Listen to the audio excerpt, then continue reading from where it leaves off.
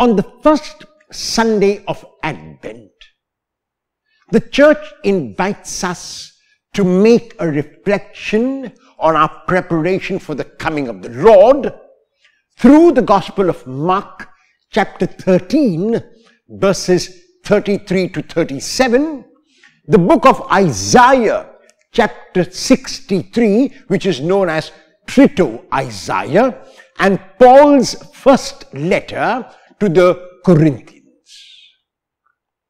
In the gospel text of today, which is taken from Mark's eschatological discourse, that is, the discourse about the things which will happen in the next life, we are invited to do two things. And the first is watch. Mark uses this word watch, translated as be on your guard. And what is important is Mark ends the entire eschatological discourse with the same word watch. And so the question is, what does this word watch means? Mark explains it at the beginning of the verses today, that is, be on your guard. And second, how can one be on one's guard? One can be on one's guard by being in the now. That is the only way. The only way to be on one's guard is not to be a person of yesterday, not even to be a person of tomorrow, not even to be a person of today, but to be a person of this moment.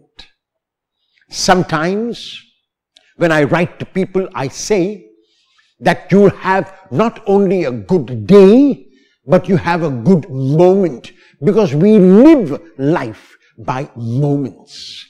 We live life by seconds. This is how we must live life. And this is what the Lord is calling us to when He says, be on your guard or watch. He is calling us to live in the present moment, to live in the now. Not even in the next moment, which is today. And the reason why the Lord is inviting us to this way of living is this. That no one knows the day or the hour when the Lord will come. No one knows. We have just been living through this tremendous pandemic all over the world. So many whom we never expected to go to the Lord have already gone.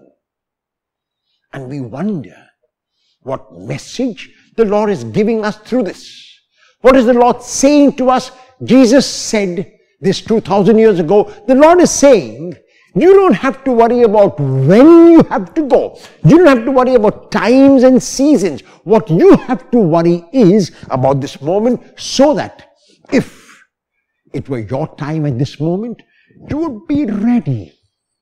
You would go to the Lord willingly. Now notice, if you live this moment fully, if you live this moment as you are meant to live this moment, then there can be nothing in your mind and heart which you will leave undone, which you will want to hope for because you have gained this grace which the Lord gives you to live in the now.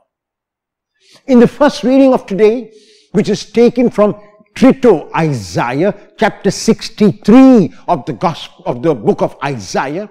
Isaiah says, you were angry when we were sinners. This is how the Old Testament prophets would look at God. But Jesus has given us a new way. So the Lord will not be angry with us. The Lord will try to draw us back. That is what happens when we sin.